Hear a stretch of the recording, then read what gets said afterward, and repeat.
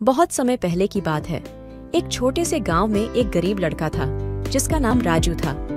राजू को अपनी गरीबी के बावजूद एक रहस्यमय चीज़ की खोज में जुटने का शौक था। एक दिन उसने एक पुराने पेड़ के नीचे बैठे बुज़ुर्ग से सुना कि एक मानव को उसके साथ अच्छे बुरे के लिए एक जादुई पत्थर मिला है। वह पत्थर किसी की भी भाषा में बोल सकता था, पर उसका उपयोग केवल एक संयमित संख्या में कर सकता था।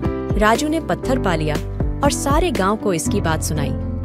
लोग लाइन में लगने लगे ताकि वे भी पत्थर का उपयोग कर सकें। लेकिन धीरे धीरे लोगों का संख्या बढ़ता गया। अब पत्थर को सुनता हुआ बस एक व्यक्ति रह गया राजू खुद। उसने अपना संदेश सभी के साथ साझा किया। इस पत्थर का उपयोग हमें संयमित रहने की सीख देने के लिए है ताकि हम अपने इच्छा शक्ति को सही रास्ते पर लगा सकें। यह कहकर राजू ने पत्थर को धरती पर रख दिया और लोगों ने इस सीख को समझा। गाँव में सुकून छा गया और लोग खुशी खुशी जीने लगे।